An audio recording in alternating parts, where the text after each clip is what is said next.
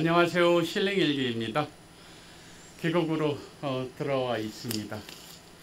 계곡에서 반기는 식물 하나 있네요. 녹색의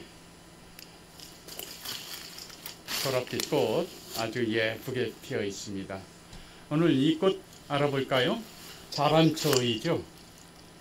꽃말은 행복이랍니다. 여기저기 그냥 쭉 펴고 있는데요. 자란초는 환경부에서 보호 지점으로 어, 정하고 있습니다. 자란초라는 이름은 자주색 꽃이 난초를 닮은 식물이라는 자초에서 유래했답니다. 아주 드물게 발견되는 고산 식물이죠. 어린 순과 잎을 나물로 식용하며 약용으로 꽃을 말려 사용합니다. 맛은 쓰지 않습니다. 뿔풀과 식물들이 항암 약초 성분이 강하죠. 난초는 아니어도 난초를 닮았다 하여 자란초라 하는데 여러 해살이 풀로 높이 30 내지 60cm까지 자랍니다. 잎은 마준하고 넓은 타원양이며 표면과 뒷면 약간 털이 있으며 가장자리엔 톱니, 톱니가 있습니다. 꽃은 6월, 7월 자주색 흰색으로 피며 여러 개의 꽃이 어긋나게 붙어서 밑에서부터 피어 올라가는 총상차형입니다. 큰잎 조개나물이라고도 하며 고산성 식물의 특성을 지니고 있습니다. 경상도 일부 지동에선 누룽지 나물이라고도 합니다. 열매는 둥글고 주름이 있으며 땅속 줄기가 옆으로 뻗어나갑니다.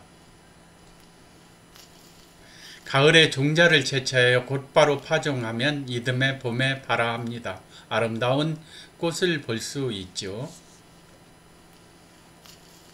항염증 특성을 나타내는 화합물이 포함되어 있어 신체 염증을 줄이는 데 도움이 될 수 있습니다.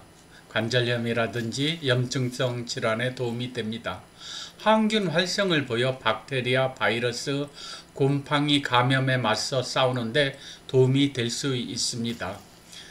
암과 같은 만성 질환의 위험을 줄이는데 중요합니다.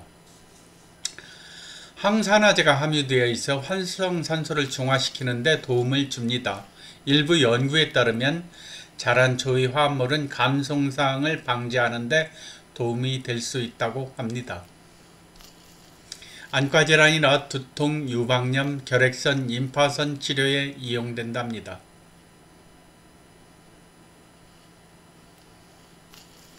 오늘 자란초에 대하여 알아봤습니다. 건강하시고 행복하십시오.